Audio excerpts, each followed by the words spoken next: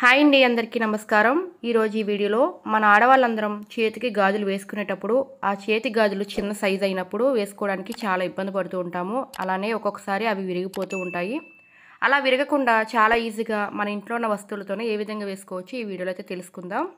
మొదటి చిట్కా సోప్ అండి. ఈ సోప్ని చాలామంది ఎక్కువ గాజులు వేసుకోవడానికి సోప్ని అప్లై చేసుకొని వేసుకుంటూ ఉంటారు. కానీ అన్ని చోట్ల అన్నిసార్లు సోప్ పెట్టుకుని వేసుకోలేం కదండి. మనం బాగా రెడీ అయిపోయిన తర్వాత పట్టు శారీ అవి కట్టుకుంటూ ఉంటాము. ఆ పట్టు శారీ మీద మ్యాచింగ్ గాజులు వేసుకోవాలంటే సోప్ పెట్టుకుని వేసుకుంటాం. కానీ ఆ వాటర్ అంతా కూడా శారీ మీద పడుతూ ఉంటుంది. అప్పుడప్పుడు ఇబ్బంది పడుతూ ఉంటాము. మనం ఇంటి దగ్గర నార్మల్గా ఉన్నప్పుడు ఈ సోప్ పెట్టుకొని గాజులు వేసుకుంటే బాగుంటుందండి. రెండో చిట్కా వ్యాజిలైన్ అండి. ఈ వ్యాజిలైన్ కొంచెం తీసుకొని మన హ్యాండ్కి అప్లై చేసుకొని గాజులు వేసుకున్నట్లయితే చాలా ఈజీగా అయితే గాజులు వెళ్ళిపోతాయండి. చాలా స్మూత్గా అయితే ఉంటుంది.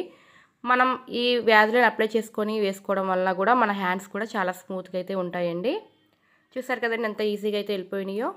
గాజులు చిన్న సైజ్ అయినా కూడా ఇలా స్మూత్గా ఉండడం వల్ల వేసుకోగానే చక్కగా వెళ్ళిపోతాయండి.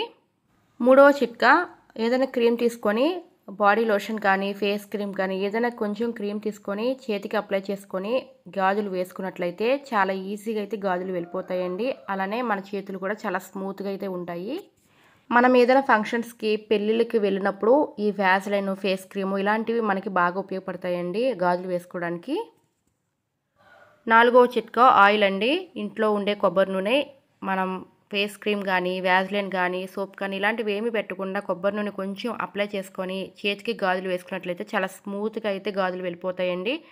తరువాత గాజులు తీసేటప్పుడు కూడా ఆయిల్ కానీ వ్యాజ్లైన్ కానీ క్రీమ్ కానీ అప్లై చేసుకొని తీసేసుకుంటే చాలా ఈజీగా గాజులు అనేవి వచ్చేస్తాయి బ్రేక్ అవ్వకుండా. ఐదవ చిట్కా ఫేస్ క్రీమ్ కానీ వ్యాజ్లైన్ కానీ ఆయిల్ కానీ సోప్ కానీ ఇలాంటివి ఏమీ కాకుండా ఇలాంటి పల్సన్ కవర్ ఒకటి తీసుకొని చేతికి చుట్టూ పెట్టుకొని గాజులు వేసుకున్నట్లయితే చాలా ఈజీగా లోపలికి అయితే వెళ్ళిపోతాయండి. అలానే అవి తీసినప్పుడు కూడా మన కవర్ పెట్టుకొని ఈజీగా అయితే తీసేసుకోవచ్చు. ఇలా లోపలికి పెట్టేసుకొని కవర్ అయితే లాగితే చక్కగా వచ్చేస్తుందండి. చూసారు కదా ఎంత ఈజీగా అయితే వెళ్ళిపోయినాయో అస్సలు బ్రేక్ అవ్వదండి. మన చేతికి కూడా అస్సలు కొంచెం కూడా టచ్ అవ్వకుండా వెళ్ళిపోతూ ఉంటాయి. మీరు కూడా గాజులు వేసుకునేటప్పుడు ఈ విధంగా ఒక్కొక్కటి ట్రై చేయండి. చాలా ఈజీగా గాజులు అనేవి స్మూత్గా వెళ్ళిపోతాయి.